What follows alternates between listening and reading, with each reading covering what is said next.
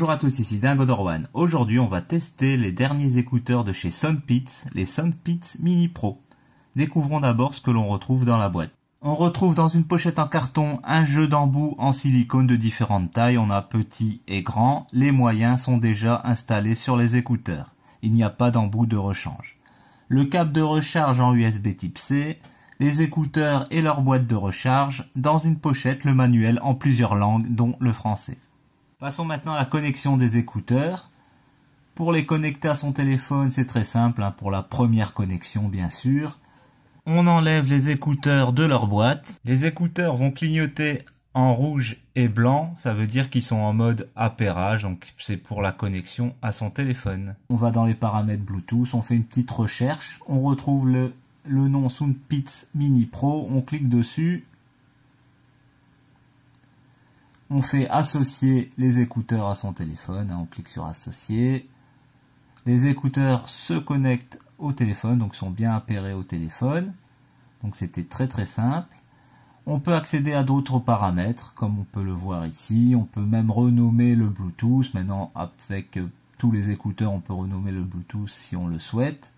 On peut même faire un réglage ici sur le Soundpit Mini Pro euh, si on veut faire le réglage du volume donc donner les autorisations aux écouteurs si on veut faire le réglage du volume via la touche tactile ou pas. Pour déconnecter les écouteurs, bah, c'est très simple. On replace les écouteurs dans leur boîte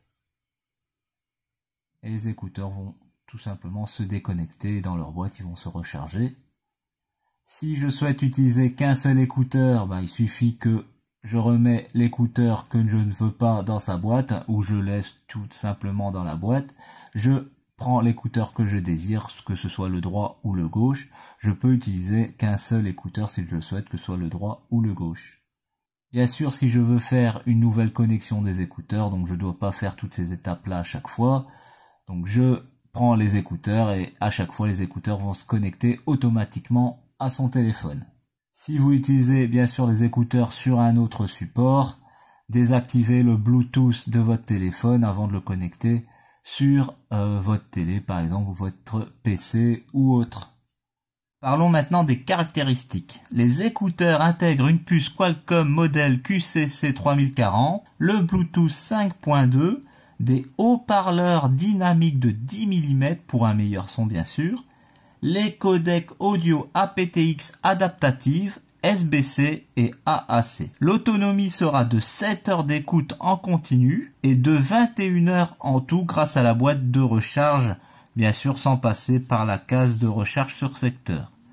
La boîte intègre une batterie de 300 mAh et permet deux recharges complètes des écouteurs. On a une recharge via un port USB type C, la recharge de la boîte et des écouteurs dure environ 1h30. On a un mode de jeu qui réduit la latence à 60 millisecondes. Pour activer le mode jeu, il faudra faire une triple tape sur l'écouteur gauche. La boîte de recharge possède une indication LED de charge. Quand la LED est rouge, on est à moins de 10% de batterie. Quand elle est jaune, moi j'ai vu plutôt une couleur orange, on est entre 10 et 49%. Et quand c'est vert, on est entre 50 et 100%. Il y a une lumière rouge sur les écouteurs, ici une LED rouge qui indique que les écouteurs sont en train de recharger quand on les met dans leur boîte. La lumière rouge va s'éteindre une fois que les écouteurs seront chargés.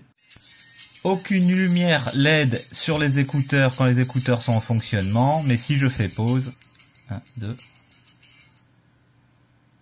voilà. Pause sur écouteur droite ou gauche, il n'y a pas d'importance.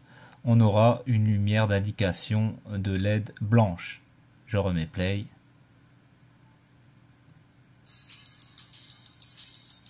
Voilà, la LED blanche s'éteint.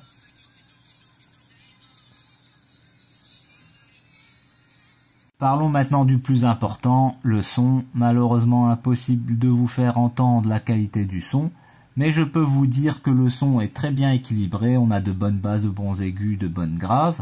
Le son dans l'ensemble est bon, peu importe la musique que l'on écoute. Dommage qu'on ne peut pas faire un réglage personnel comme leur modèle Soundpits R3 que je vous avais testé, qui possède une application pour mettre à jour les écouteurs et régler le son selon ses préférences.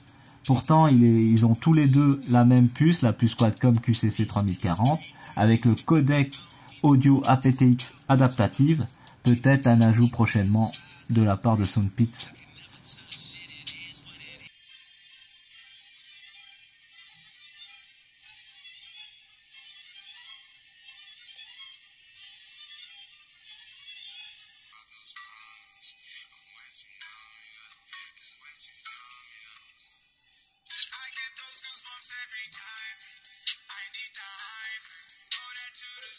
Testons maintenant le double micro des écouteurs. Les écouteurs possèdent une nouvelle technologie qui est la réduction de bruit active hybride. On va pouvoir choisir entre trois modes de réduction de bruit. Pour changer de mode, il va falloir appuyer sur l'écouteur gauche une seconde et demie. Si vous appuyez sur l'écouteur droit, ça va déconnecter les écouteurs. Le premier mode, c'est tout simplement le mode normal. Les écouteurs, comme ils sont intra-auriculaires, ils agissent comme des bouchons d'oreille mais on entend quand même hein, les bruits ambiants euh, qui seront euh, légèrement atténués. Le deuxième mode, c'est le mode ANC.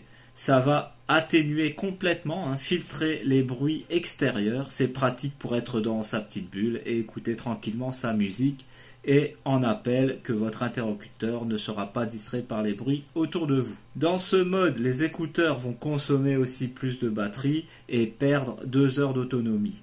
5 heures d'écoute au lieu de 7 heures. Le troisième mode, c'est le mode appelé transparent. Ce mode va permettre d'entendre tous les bruits extérieurs. Hein. c'est pratique pour la sécurité, hein, surtout si on se balade dans la rue, pour entendre les vélos, les camions, les voitures et autres. Testons maintenant le micro des écouteurs sur un PC. On va tester ici, je suis en mode normal hein, pour voir si ça fonctionne bien ou pas.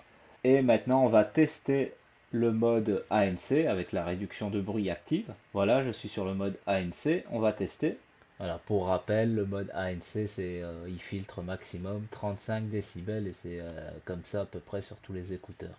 Allez, passons à ma conclusion. Parlons déjà de cette réduction de bruit active hybride. Comme vous avez pu l'entendre, le mode ANC filtre seulement les tout petits bruits, mais ne filtre pas le reste. Perdre deux heures d'autonomie pour un minimum d'effet est quand même décevant. Le mode transparent reste assez sympa pour entendre un peu plus les bruits extérieurs. Si vous avez déjà testé des écouteurs intra-auriculaires, vous savez que ça peut être dangereux en rue. Les écouteurs possèdent un son adaptatif, ce qui va permettre de s'adapter au type de musique que l'on écoute. Malheureusement, contrairement à leur modèle Soundpits R3, les écouteurs ne sont pas compatibles avec leur application. Donc impossible de faire des réglages personnels, ce qui est vraiment dommage. L'autonomie de 7 heures est bien respectée, la boîte permet bien deux recharges complètes, l'autonomie de 21 heures est bien respectée. Les écouteurs tiennent très bien dans les oreilles, c'est parfait pour les sportifs. La forme des écouteurs permet de bien avoir accès à la touche tactile pour facilement mettre en pause, modifier le volume et autres. Comme je vous l'avais dit, le son est bon, il est bien équilibré, il y a de bonnes basses, de bons aigus, de bonnes graves, mais dommage qu'on ne peut pas faire son propre réglage, comme par exemple diminuer les basses ou en rajouter. Les écouteurs Soundpits Mini Pro coûtent quand même une soixantaine d'euros. Leur design, on aime ou on n'aime pas, en tout cas le son est bon avec une bonne autonomie. Mais quand on sait que pour 20 euros de moins, on a leur modèle R3, on peut avoir un peu de mal à choisir. Vous trouverez le lien de mon test vidéo sur les écouteurs R3 dans la description. En tout cas, le choix se fera vraiment sur le design et l'autonomie. Si vous avez encore des questions, n'hésitez vraiment pas. Comme d'habitude, je remercie les anciens d'avoir regardé et aux nouveaux, merci d'avance pour vous être abonnés. Moi, je vous dis à la semaine prochaine. C'était Dingo Dorwan.